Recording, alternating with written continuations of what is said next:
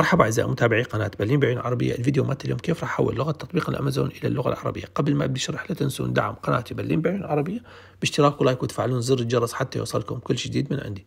مثل ما تعرفون أنا نزلت قبل فترة آه، كيف راح نحول لغة تطبيق الأمازون؟ هذا الفيديو اللي راح يظهر الآن قدامكم على الشاشة. كيف راح نحول لغة تطبيق الأمازون إلى اللغة العربية؟ بتاريخ اللي نزلته ما كان يدعم اللغة العربية.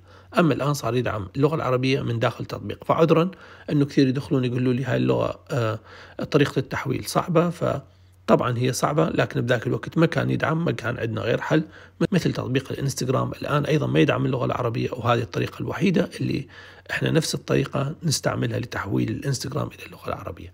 الآن كيف راح نحول تطبيق أمازون إلى اللغة العربية؟ راح أدخل على حتى أحول لغة تطبيق الأمازون إلى اللغة العربية راح أدخل على الإعدادات أنزل أبحث عن الأمازون وهنا راح تلقون تطبيق الأمازون بالأسفل. هذا الأمازون راح تدخل عليه راح تحول هنا اللغة إلى اللغة العربية. راح يكون عندك الإنجليزي والألماني. سابقا ما كان يدعم اللغة العربية الآن صار يدعم اللغة العربية. هذا حبيت أشرح لكم إياه. الآن لو دخلنا على أمازون راح تشاهدون أنه تقدر تبحث باللغة العربية. مثلا آيفون شوفوا دعم اللغة العربية. هذا اللي حبيت اشرح لكم إياه. أتمنى بنهاية الفيديو استفاديتوا. وعذرا إنه ذاك الفيديو قديم فالآن هذا آخر فيديو. تحياتي لكم.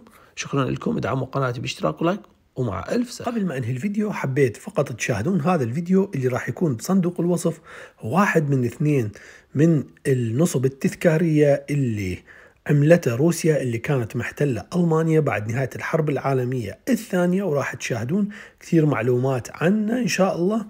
فتشاهدون خصوصا نهاية الفيديو كلش حلو المناظر كلش حلوة. صدقوني كأنها أني وصفتها كأنها مكان من الجنة يعني بدون تشابيه كلش حلو هذا الفيديو.